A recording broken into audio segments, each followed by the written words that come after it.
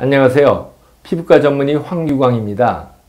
수술이나 외상 후 진피층이 콜라겐이 과다 증식되어 얇아진 피부 위로 튀어나오는 증상은 일반 흉터에 비해서 더 올라오는 비후성 반응 혹은 켈로이드로 보여집니다.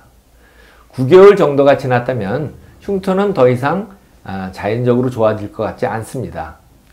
점점 부풀어 오는 것은 안에서 살이 차오르는 것이 아니라 비유성 반응이 올라오는 것이고 느끼는 증상으로는 가려움, 약간의 압통이 있을 수 있습니다.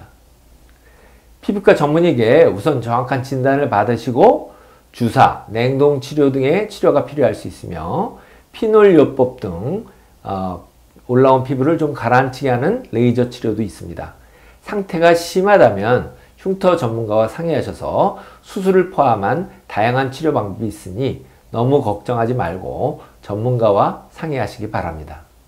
감사합니다.